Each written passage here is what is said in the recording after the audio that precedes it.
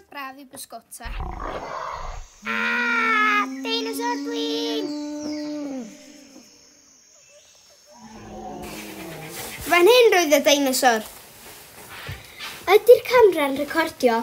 Ydy action. Helo, croeso i newyddion am un hefo fi, Megan. A fi, Tom, pam rydyn ni yma heddiw, Megan? Oherwydd mae'r pysgotwr yma. Helo! Yn dweud bod wedi weld dinosaur blin wrth llun manot. Mae'n wir! Beth digwyddodd?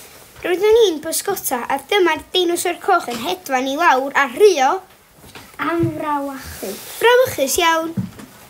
Sut roeddet ti'n teimlo? Roeddwn i ofyn. Sut ti'n gwybod na dinosaur oedd o? oherwydd oedd o'n edrych fel deinosor ac yn rhio fel deinosor. Hmm. Tydw i methu gweld deinosor heddiw. Na fi. Cut! Be? Wastio'r amser.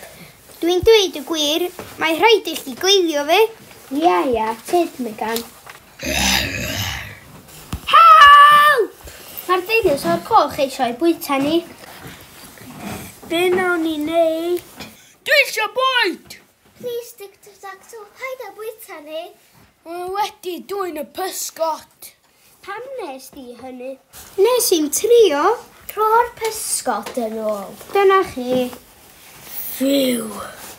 Fi'n meddwl bod hi'n well i ni fynd o ma.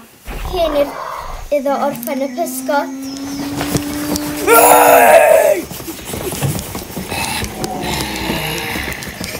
Ah!